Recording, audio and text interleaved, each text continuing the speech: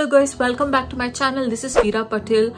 Usual news with unusual insights. Let's talk about one of the hottest topics today that is ChatGPT. What is ChatGPT?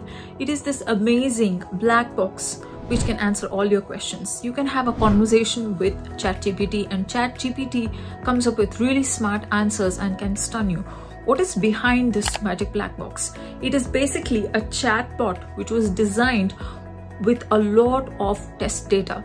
Apparently, ChatGPT was one of the most expensive projects undertaken, and every day it is several hundred thousand dollars in training expense and millions of dollars in just maintaining the data sets and training the models. So, this is a very expensive effort. OpenAI took took up three to four years ago, and some of the biggest names like Sam Altman, Elon Musk were uh, all involved in OpenAI project backing ChatGPT.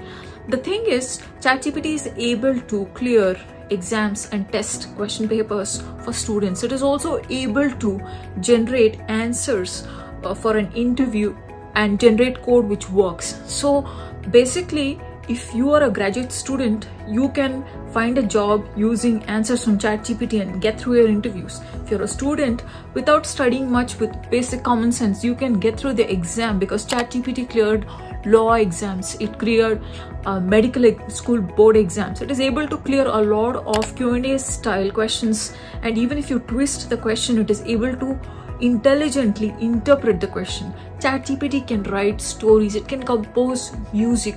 A lot of people, especially Gen Z music composers, are using help from ChatGPT.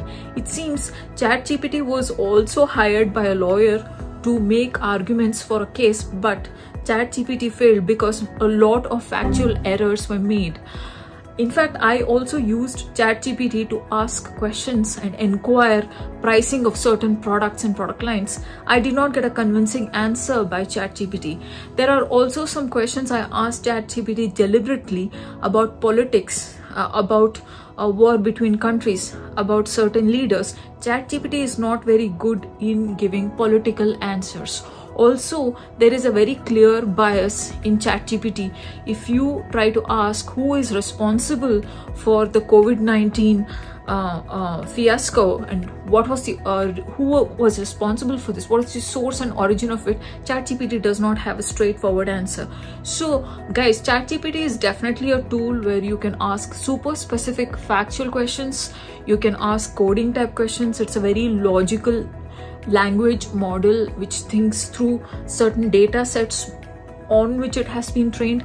But if it was so easy to create something like chat gpt why isn't google search which is already such a big company who's got tons of data not already released ChatGPT like search engine. It is because it comes with a huge responsibility, a huge uh, validation model, which I don't know if ChatGPT is owning up.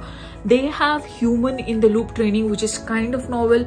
Most uh, machine learning models are trained only by machines on data sets only humans are involved in preparing the data sets but in chat gpt humans are also involved in refining the model very deeply so it is an expensive expensive effort by openai let's see if they sustain it but what do people like you and me look out for in ChatGPT? Several billion dollars of investment has gone up in the ChatGPT startup community. So you guys, if you're looking for investing in exciting space, this is the space to look at. Even generative AI and uh, similar kind of AI startups have come up. There are also startups who are trying to uh, act like devil's advocate or police the chat GPT generated response and make sure that you can distinguish between response by humans or chat gpt so guys that is a very good startup space to invest in or to find a job in or you can look out to that space for exciting opportunities with that i hope you enjoyed this segment on ChatGPT. always remember these new technologies go through the hype cycle there is always a bubble and there is a bust so don't get too carried away by ChatGPT, but it is definitely something very big. It is uh, definitely a disruptive technology. But if you're investing, be careful, follow the trends, uh, do your due diligence and observe it smartly. And if you're a student, do something creative with it, uh, with it learn the fundamentals and I feel in today's generation, if you are able to be hands-on, if you're able to learn something and unlearn it quickly, you're smart as well as educated. So with that, I hope you enjoyed this segment on ChatGPT. Leave your comments. Let me know if you think Google search is going to get killed by ChatGPT or Google search experiment apprentice bard is already on its way to compete with ChatGPT. Think about it and let me know in the comments. Thank you so much. This is bye from Vida Patil. See you next time with another exciting news segment.